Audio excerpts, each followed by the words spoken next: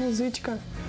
На конце буква А. Очень часто и в школе, и в больницах, и даже на соревнованиях постоянно пишут ее неправильно, и это очень ну, напрягает.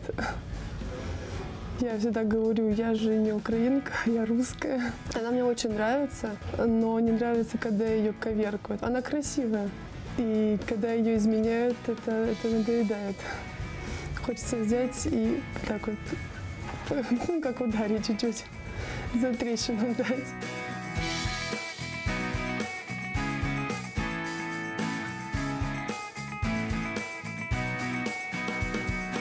Меня дедушка отправил учиться на гитару, но я училась года два-три.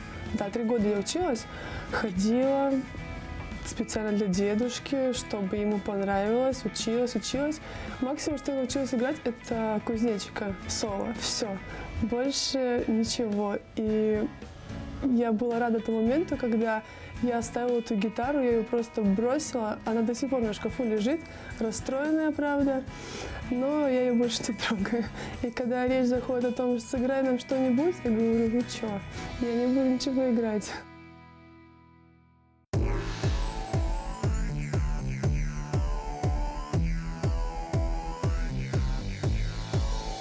Мне было 7 лет, и дедушка отвел в секцию тэквондо, чтобы я ну, умела защищаться. Я начала ходить, и мне безумно не нравилось. Я не любила.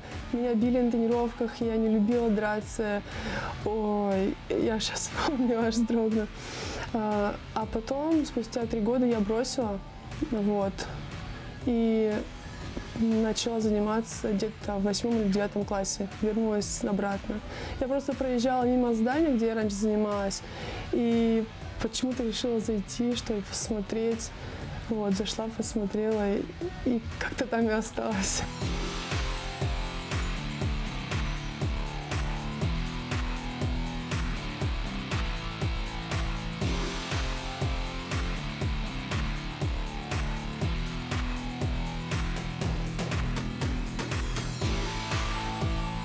Тэквондо, оно развивает личность, характер, гибкость, пластичность, умственные какие-то способности, потому что у нас в поединке очень надо много думать, куда правильно ударить, как опередить защиту, как опередить удар.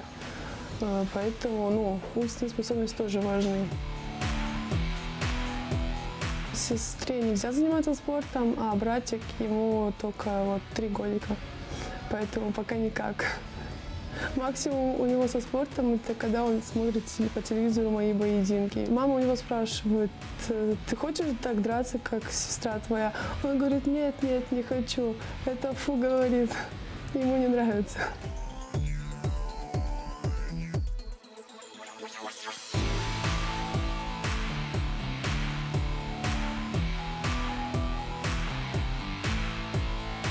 Все боялись меня, очень боялись в школе не было ни друзей, никого, потому что, ну, я высокая, и плюс спортом занимаюсь таким вот как-то специфичным, можно сказать.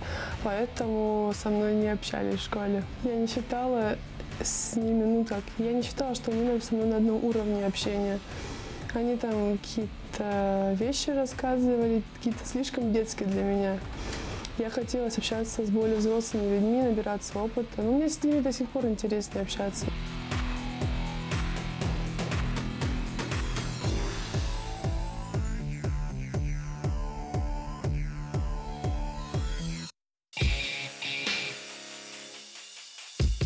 Это была моя первая Европа. Я боялась, я боялась проиграть, боялась подвести ну, Россию.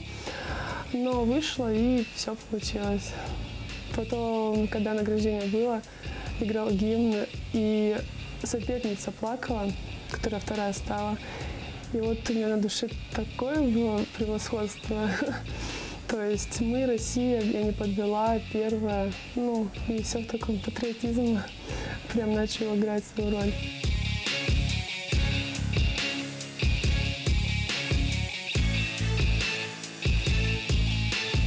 В Грецию мы поехали, и таксист, там все таксисты какие-то такие жмоты, можно так сказать, и они накручивают. И вот мы поехали, мне надо было драться буквально там через часа два. Э, мы сели в такси, и он нас повез по объездной дороге, там еще платная дорога. В общем, мы ехали где-то километров 30. Э, мы проехали еще больше, там, но потому что мы ему сказали, что нам надо уже драться, мы уже не можем, мы опаздываем. Потом плюс он потерялся, он не знал дорогу, а я сидела, я нервничала, потому что мне надо уже как бы выходить, скоро на поединке, надо еще размяться, потренироваться. Но в итоге вышла, ну, приехали, я вышла на поединок, и каким-то этот кураж, ну, все получилось.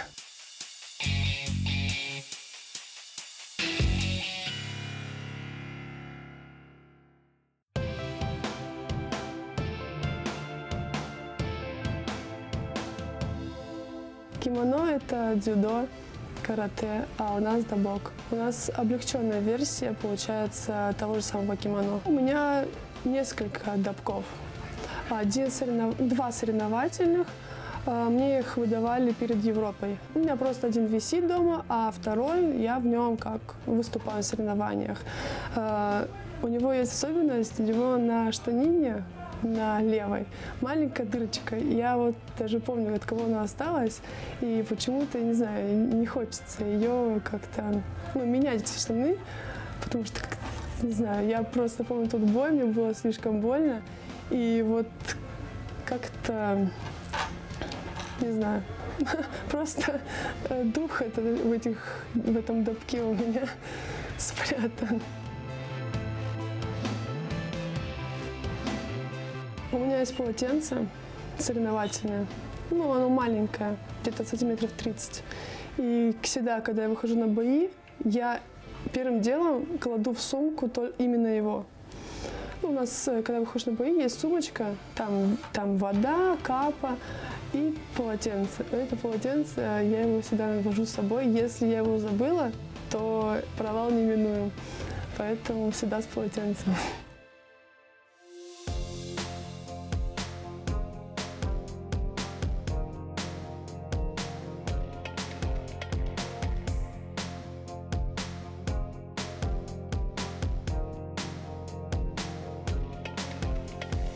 Я не люблю свои бои пересматривать, потому что это, ну, для меня это ужасно, как я двигаюсь, как я бью. Кому-то нравится, мне не нравится. У нас всегда с тренером на бой есть тактика которые мы выходим и работаем. На каждый бой с каждым соперником разная тактика. Когда дерешься, ты не замечаешь о том, что у тебя что-то поломано. Потом, да, ты когда домой приезжаешь, э, ты понимаешь, что она слишком опухла, и ты надеешься, что это у тебя не перелом, но потом в итоге у тебя получался перелом всегда. Самое максимальное, сколько я была без спорта, это где-то больше полугода. Я тогда лежала с ногой, с гипсом. Мне не сказали, что меня выписывают. Я не дождалась этого. Я раньше сняла. Я просто поняла, что у меня уже все хорошо. И все, я начала ходить тренировки, закачивать ноги э, и приходить в форму.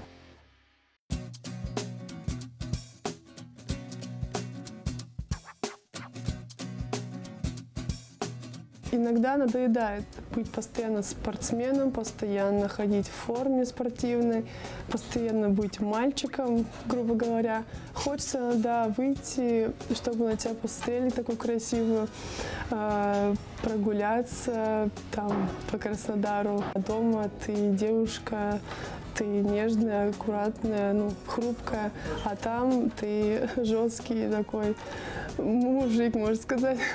Мне нравится цвет волос мой, и поэтому по поводу блондинок я ничего не могу сказать. Да, мы глупые, может быть, в какой-то мере. Вот раньше мне казалось, что, да, блондинок там, ну как-то стереотип был, но сейчас э, я этого не слышу почему-то. Может, время поменялось.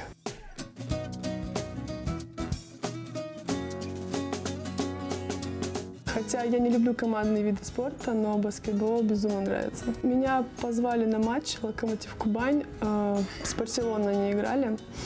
И я поняла, что я люблю этот спорт. Мне нравится, как они кидают, как они, они летают, можно сказать, над полем. Но у меня очень плохо получается. Я постоянно кидаю мимо кольца. Но если стать ровно и с места кинуть, то да, да, я попаду. А если в движении, да, это будет очень сложно.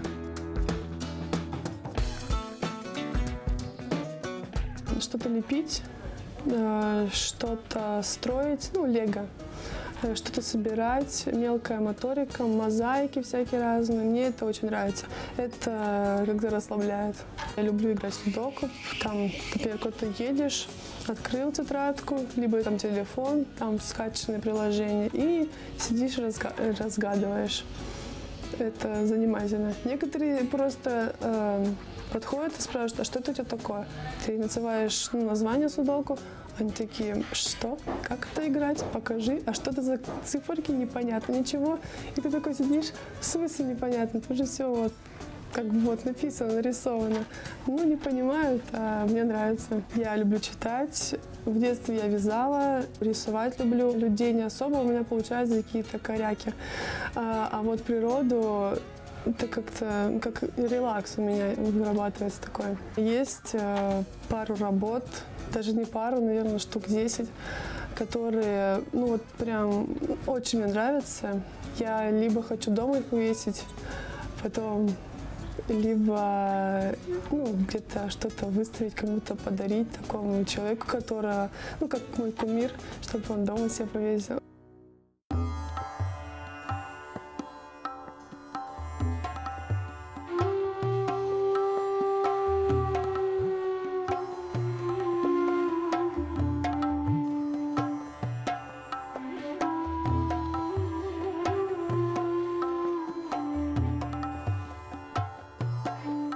Мечта побывать в Индии. Даже вот я даже хочу, чтобы поехать туда, чтобы не было там соревнований, чтобы всю себя посвятить Индии. А, этому виной все книга Шантарам. Вот эти улочки всякие разные, индийские. Хочу посмотреть уровень развития Индии. В первую очередь я бы ну, посмотрела все плохие районы, наверное. Да, мне бы очень хотелось, интересно было бы. Потом, наверное, поехала бы в центр и заключением самое хорошее оставила бы.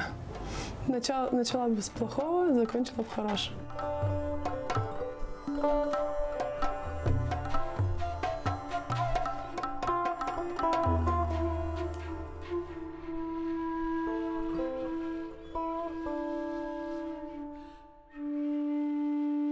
Я спокойно могу проводить там неделю, месяц без интернета. Да, будет сложно общаться с друзьями, которые живут очень далеко. А, поэтому приходится за, заходить в интернет, общаться с ними. Но так, если бы все были рядом, близко, я бы смогла без интернета выжить, существовать. Я бы нашла применение своему свободному времени.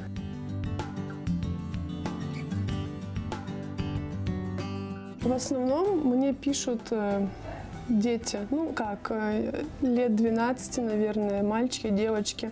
Они ну, как хвалят меня, говорят, ты наш кумир, давай работай, мы на тебя равняемся, благодаря тебе мы занимаемся спортом. А, был такой человек, который мне плохое писал, но он куда-то исчез, и это слава богу. Вот. Соцсетях иногда пишут э, заграничные люди, э, там как меня, следят за мной.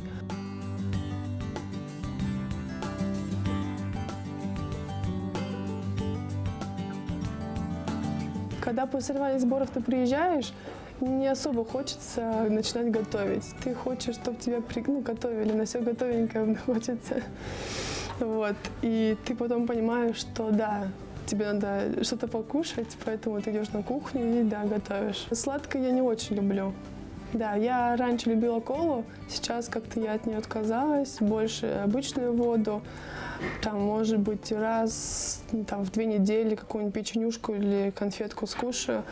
Я не особо люблю сладкое. Нет, когда бы я не отказалась от, наверное, роллов. Вот, это мне нравится. Когда первый раз э, показали, что такое роллы. Я попробовала, мне очень не понравилось. Я сказала, фу, что за гадость. Отодвинула их. Потом, через какое-то время, я уже забыла про этот случай. И опять же, на столе стоят роллы, я начинаю кушать, мне говорят, так ты же их не любишь. Я такая, с чего это вы решили? Попробовала, было очень вкусно, и все, с тех, с тех пор я люблю роллы.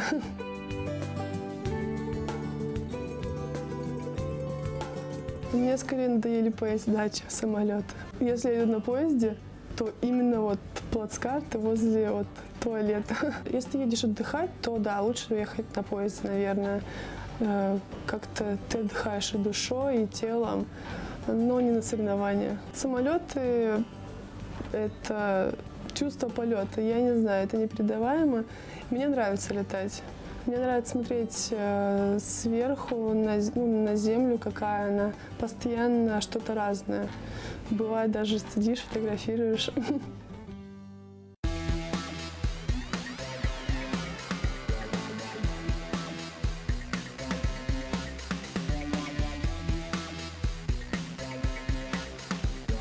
Не боюсь всяких паучков, жучков, змей. Наоборот, всегда хочется взять их, потрогать, погладить, посадить себе на шею. Э, я даже помню, на мне питон был такой большой, желтый, лежал.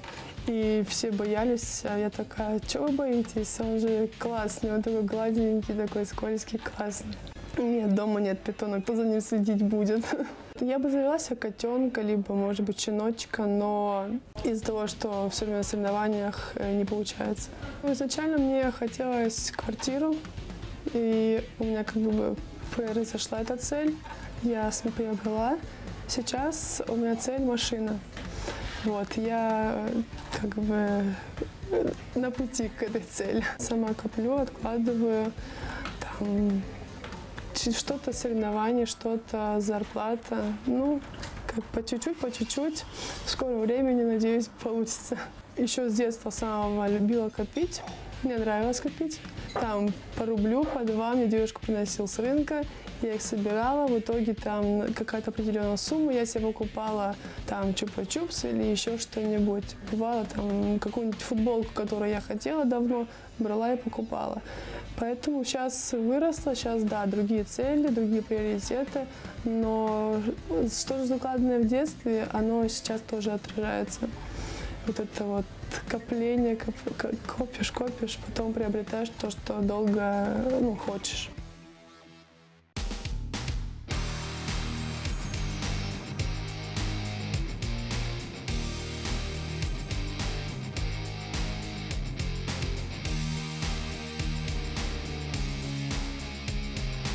Когда гороскоп хорош, я верю. Когда нет, я не верю. Уведомление приходит, я не знаю, зачем я подписалась, но приходит уведомление, я прочитала. Никогда не сбывается, но все равно прикольно. Все это билиберду, совместимость, я в это не верю. Ты сам строишь и сам совмещаешь.